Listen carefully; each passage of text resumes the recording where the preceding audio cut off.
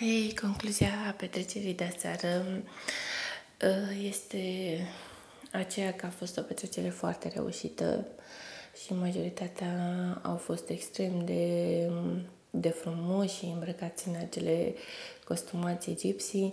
Uh, chiar s-au distrat și s-au simțit bine majoritatea dintre ei. Uh, le-au stat și foarte bine îmbrăcați așa, mai ales lui Denis și lui Verel parcă erau rupți din filmul acela, chiar le-a venit foarte bine costumațiile. Mi-au plăcut uh, toți pentru că cuplurile chiar au stat împreună, au stat mai tot timpul îmbrățișați, s-au sărutat uh, la dans, uh, la fel s-au potrivit fiecare în parte. Uitați cum stătea din aici. Se schimbase deja în pijamale și nu prea mai avea chef de nimic. La un moment dat am văzut-o stând de vorbă cu Paul și a vorbit ceva, a vorbit uh, foarte mult timp. Valentin și cu Gabriela, v-am spus, când s-a terminat petrecerea, Valentin îi striga că faci ce vrei, poți să faci ce vrei, acum că eu oricum te iau acasă sau ceva de genul. Deni și Viorel pentru mine au fost uh, uh, au fost cei mai frumoși și mă refer la ținute, la atitudine, li se potrivește perfect acest stil gypsy și cred că le și place foarte tare, dar chiar le-a stat foarte bine împreună. Cosmin și Miruna au stat doar pe canapele, nu au dansat deloc seara trecută. Știu că spunea Miruna că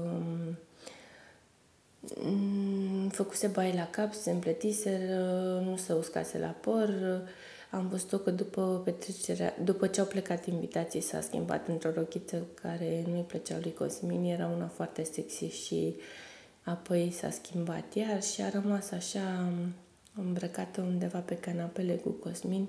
Toată seara nu au dansat deloc, probabil că nu s-a simțit nici bine îmbrăcat așa sau nu-i plăcea nici cum îi stătea părul. Cert este că e ok și să fie așa.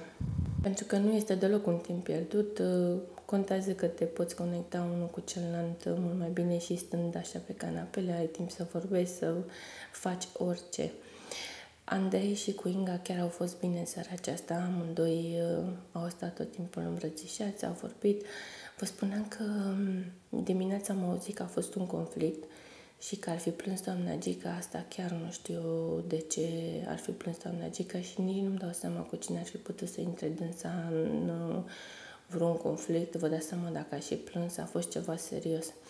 Aici era faza cu Valentin și cu Gabriela când uh, ușile se închideau și nu-și mai dădeau drumul celuilalt. Uh, au stat um, sau S-au sărutat până când s-au auzit toate dingurile, iar apoi se alergau unul pe celălalt și îmi spunea Valentin că poți să faci ce vrei, eu te voi lua acasă.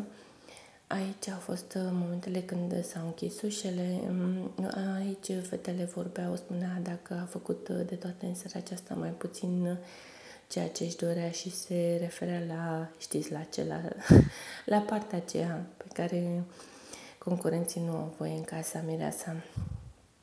Um, au mai fost discuție după petrecere, dar uh, nimic. A, au vorbit foarte mult despre Ana, dacă o țineți minte, concurenta care a fost prima eliminată, cea care avea un copil.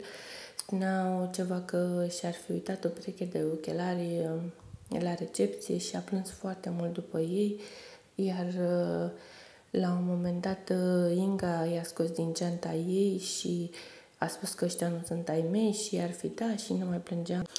Spuneau fetele că și-ar fi dorit să rămână măcar o lună în casă pentru că era foarte zăpăcită și mai spuneau că oricum va trebui să vină Raluca, parcă spunea asta, că oricum va trebui să vină în gală pentru că are să îi dea 60 de lei mirunei pe nu știu ce produse pe care și le-a luat din uh, shop Chiar a fost o petrecere reușită, nu aș avea ceva de notat negativ la această petrecere, poate doar fața cu doamna Gica, dar neștiind ce s-a întâmplat, nu pot să spun.